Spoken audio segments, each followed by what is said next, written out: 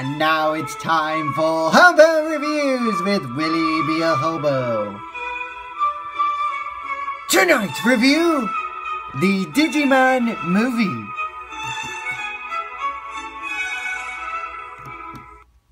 Oh my god, this is the best movie I've ever seen in my whole life! Digimon, Digital Monsters, Digimon full of spoilers!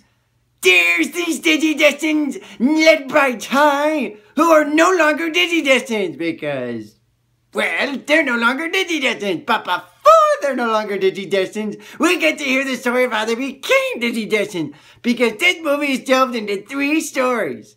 Three stories to make one movie. Get it? Because it's 30 minutes for an episode, so essentially these are three 30 minute episodes combined into one movie.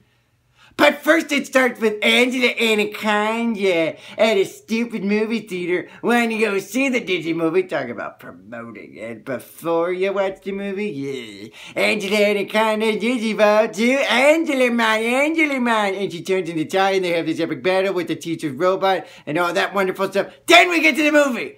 And it starts out with Tai as a youngling. And he discovers a digital egg.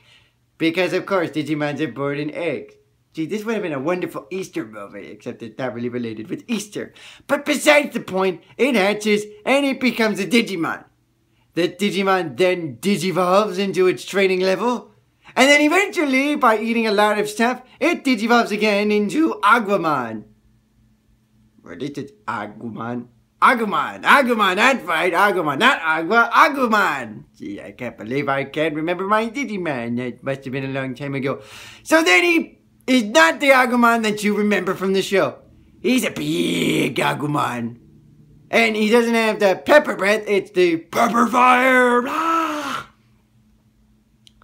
So then he goes running around town because you know they did this take place in like China or Japan, which makes sense because this is technically an anime. He goes running around and then he discovers a Parrotmon. So then he digivolves and he says, "I'm Greymon now."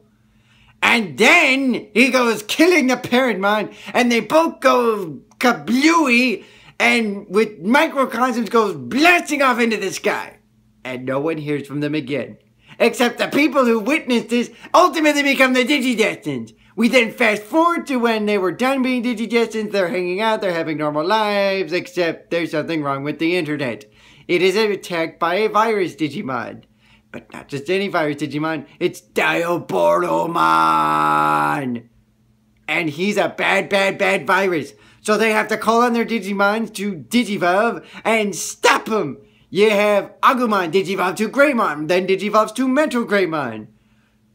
And then you got Ka- Tentomon digivolving into Kabuterimon, which digivolves into Mega Kabuterimon.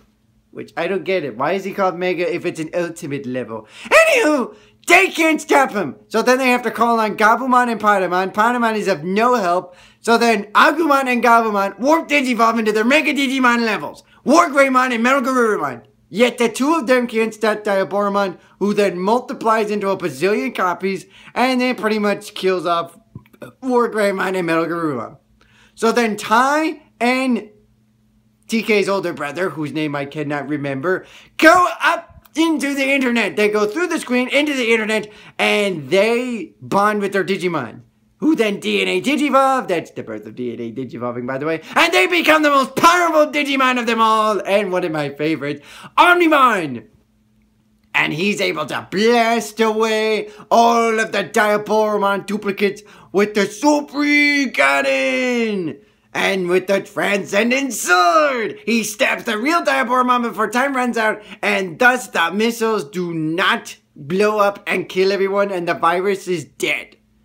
Except the virus then spreads uh, on to America, in particular Colorado, and one of the Digidestin's Digimons gets infected by it and turns into some Gorillamon, who's not named Gorillamon.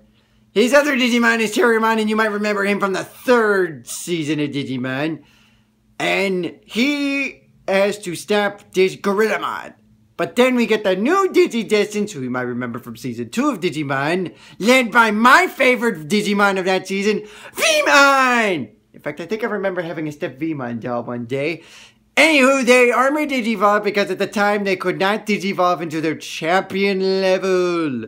They could only armor digivolve.